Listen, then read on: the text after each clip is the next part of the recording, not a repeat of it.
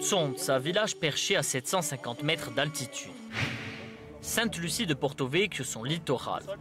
48 km les séparent, l'équivalent d'une heure de route pour une seule et même commune, vaste de plus de 13 000 hectares. Administrer Tsonts et Sainte-Lucie s'apparente à gérer deux communes, deux territoires, voire même deux types de population. Le village de la montagne, c'était autrefois le cœur battant de la commune.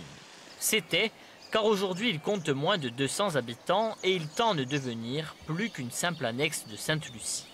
Recréer de la vie dans l'intérieur, maîtriser le développement du littoral, voici les défis et les enjeux de cette commune. L'activité, c'est la façade maritime qui l'a vampirisée. Nicolas qui a voulu nous amener ici, près de la mer, pour que l'on puisse avoir une vue sur les collines de Sainte-Lucie. Ce modèle de développement, cet urbanisme, ces villas, lui et son équipe n'en veulent plus. Ils en ont fait le cheval de bataille de leur campagne. Cet exemple est édifiant. Vous avez une des plus belles euh, de nos plages euh, du littoral et vous avez tout de suite l'arrière-pays euh, qui est un peu le, nœud du problème. On se rend compte que ce développement, comme vous pouvez voir derrière nous, est quand même anarchique, qu'il n'y a pas de règles de construction harmonieuses. On voit qu'il n'y a pas de charte paysagère. On sait que le document d'urbanisme aujourd'hui est à bout de souffle. On sait également que ce qui a été proposé ne tient pas la route. Et je regrette d'ailleurs que nos adversaires veulent rester dans cette continuité de construction. Il faut dire que ça n'a pas de plan local d'urbanisme. Sans PLU, c'est donc toujours la carte communale qui prévaut. De fait, Sainte-Lucie est en pleine expansion. Pour le vérifier, il n'y a qu'à emprunter la route qui mène à la mer. Promotion immobilière en 4 par 3, permis de construire, les panneaux fleurissent.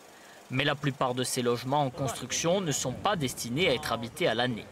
Dans ce domaine d'ailleurs, la commune tutoie les sommets. Un chiffre, elle compte plus de 70% de résidents secondaires. Du côté de Georges Fagne, on souhaite limiter ce modèle de développement.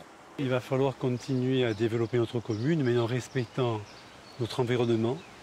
Il faut absolument qu'on maîtrise le tourisme, faire un étalement, faire un écotourisme responsable pour vraiment protéger nos sites, nos sites qui sont remarquables, hein, que ce soit sur le littoral, que ce soit en montagne développer notre montagne qui a des atouts extraordinaires, hein, avec justement développant des, des sentiers de randonnée, du VTT. Oui, la montagne, ce sera assurément l'un des défis majeurs de la mandature, donner un second souffle au village. Et cela pourrait bien passer par la communauté de communes de l'Alta Tsonsa en est le territoire le plus peuplé, et dans un camp comme dans l'autre, on souhaite y jouer un rôle de premier plan.